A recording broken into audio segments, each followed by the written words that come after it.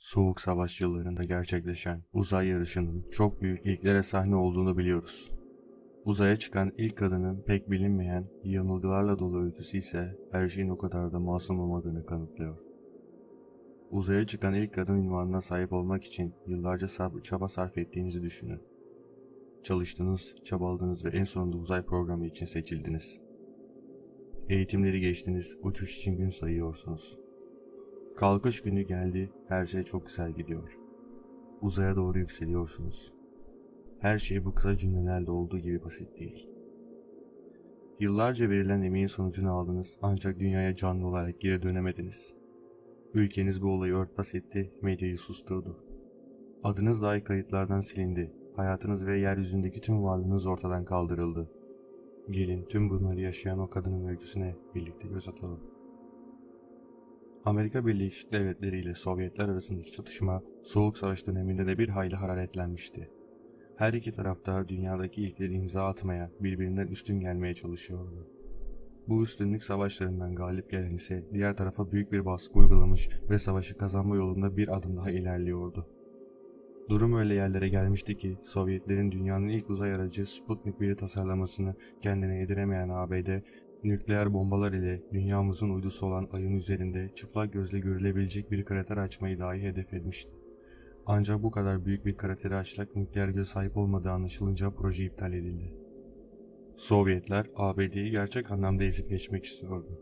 Bunun için çalışmalarına bilim insanlarıyla gece gündüz hız kesmeden devam eden Sovyetler 1957 yılında Sputnik bir uydusu ile birlikte uzaya gerçek anlamda erişmiş ve ABD'yi gölgede bırakmıştı. Daha da büyük bir üstünlük sağlamak isteyen Sovyetler ise ilk insan uç uzay uçuşunu gerçekleştirmek için sürekli denemeler yapmaktaydı. Sovyetler uzaya ilk insanı göndermeyi başardılar. Yuri Gagarin 12 Nisan 1961 tarihinde uzaya giden ilk insan olarak tarihe geçti. Nitekim Rusların bu başarısının ardından başarısız denemeleri de vardı. Uzaydan gelen tensiz konuşmalarını yakalayıp gerçeği ortaya çıkaranlar Judika ve Gordlika kardeşlerdir. Yuri Gagarin'in yaklaşık bir ay önceki başarısının ardından Sovyetler bu kez kadın bir kozmonotu uzaya göndermek istediler. Olayın bu kısmı çok net değil çünkü yaşananlardan sonra tüm kayıtların imha ettiği söyleniyor. Tüm bu bilgilerin duyulmasını Sovyetlerin çalışmalarından şüphe etmemizi sağlayan bir takım olaylar da yaşanmakta.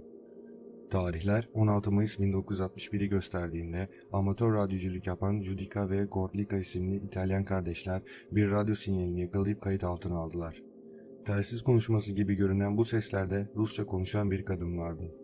Her şey konuşmalarda İtalyanca çevrildiği zaman ortaya çıktı. İşte o ses kaydından biri bu.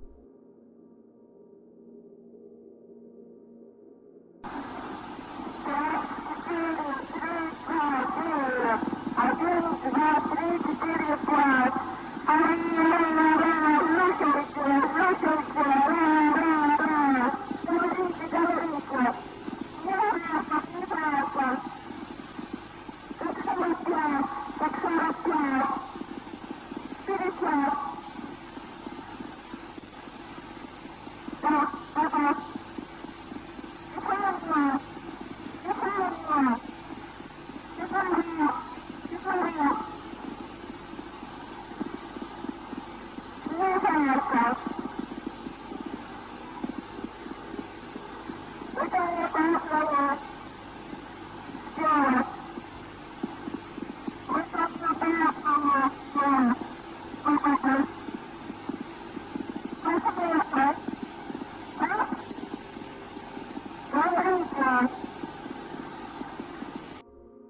Tüyler ürperten ses kayıtlarında duyulan kadının sesi bir şeylerin ters gittiğini ve ona ne yapacağı konusunda talimat verilmesini istiyordu.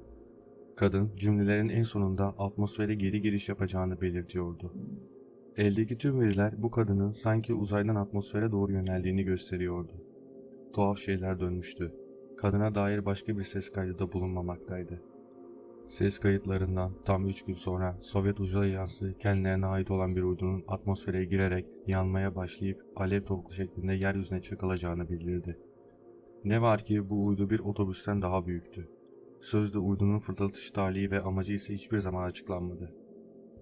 Uzaya giden ilk kadın ünvanına sahip olmak isteyen kozmonot iddialara göre yanarak ve yeryüzüne çakılarak can vermişti. Bugün Rusya bile bu olayın gizliliğini hala sağlarken söz konusu konularda iddialara dair net bir açıklama bulunmamakta. Bazı kaynaklara göre kadının bulunduğu mekik dünyanın çevresine tam 17 tur attıktan sonra kontrolünü yitirmiş ve dünyaya çakılmıştır. Gerçekten de çok ilginç değil mi? Videoyu beğendiyseniz kanala abone olmayı ve bildirim çanını açmayı unutmayın.